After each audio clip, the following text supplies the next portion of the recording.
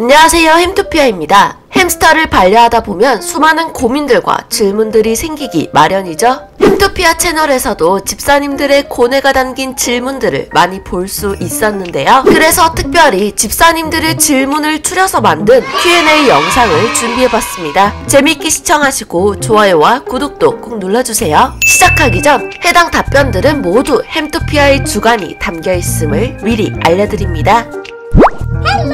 햄토피아 핸들링을 시도하려고 하면 안 오고 자꾸 물려고 해요. 핸들링이 만약 초반이시라면 햄스터가 우리의 손을 경계해서 그럴 가능성이 높아요. 인내심을 가지시고 꾸준히 노력하시다 보면 노력이 빛을 발할 수 있답니다.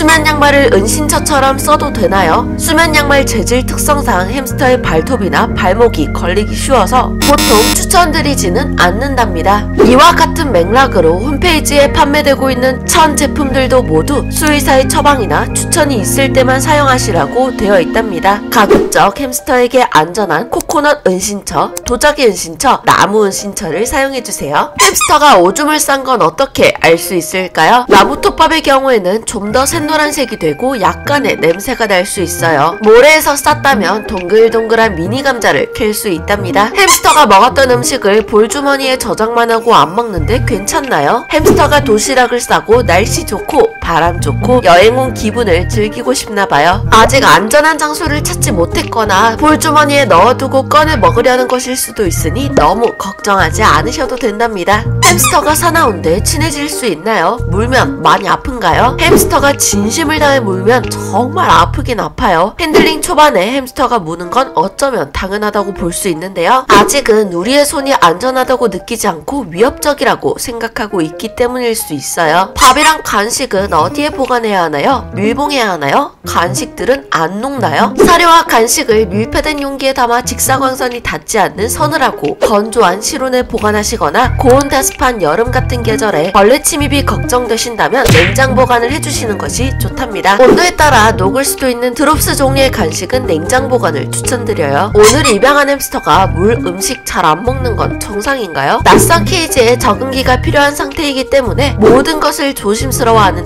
단계일 수 있어요. 아마 사람들이 모두 자고 있는 야심한 밤에 나와서 물도 마시고 밥도 먹고 할 거예요. 은신처에 자꾸 오줌을 누면 어떻게 해야 하나요? 모래존에 은신처를 놔도 될까요? 배변 훈련이 되지 않은 햄스터는 은신처에서 보통 모든 걸 해결하려고 해요. 그렇기 때문에 자주 청소를 해줄 수밖에 없답니다. 푸딩 눈 주위에 털이 빠지고 피도 약간씩 나는 것 같아요. 피부병인가요? 이야기로만 들어서는 자세히 알 수 없기 때문에 정확한 진단을 받으려면 수의사에게 가보 는 것이 좋답니다. 조금이라도 건강에 문제가 생긴 것 같 다면 꼭 병원에 방문해 주세요. 햄스터 사료 급여량이 궁금해요. 사람마다 답변이 다 달라서 헷갈려요. 햄스터 몸무게 기준 10%에서 13% 급여하시면 되지만 그건 제공한 사료를 모두 먹었을 때 이야기고 보통은 사료를 조금씩 남기기 때문에 최대한 편식하지 않는 사료를 찾아주시는 것이 좋답니다. 햄스터가 사료를 얼마나 남기는지 확인하고 보조 사료나 간식을 알맞게 급여해 주는 것이 좋을 것 같아요. 이미 큰 아기는 핸들링을 어떻게 하나요? 어린 아가 들하고 방법은 유사하지만 다만 이미 손에 대한 경계심이 심할 수 있는 상태이니 핸들링이 더 느리게 진행될 수 있어요. 아예 불가능하지는 않답니다. 오늘은 이렇게 햄토피아에서 준비한 햄스터 Q&A 1탄 영상이 끝이 났는데요. 집사님들이 궁금해하셨던 내용이 있을 수도 있고 없을 수도 있겠죠. 혹시 궁금한 게 있다면 댓글로 질문해 주신다면 Q&A 2탄 영상으로 답변 드릴 수 있도록 해볼게요. 시청해주셔서 감사합니다. 다음에 또 만나요.